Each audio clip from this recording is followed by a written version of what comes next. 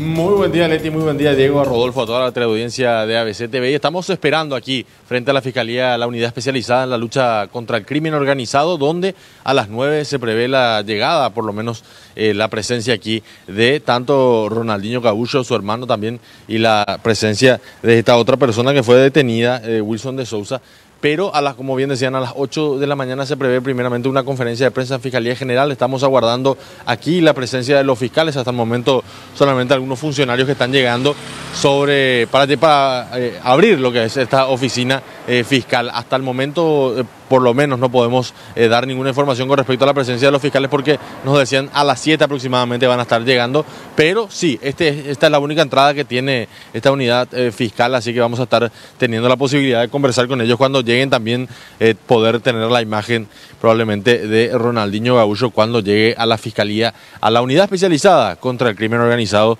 por esta situación que se daba en la tarde-noche de ayer.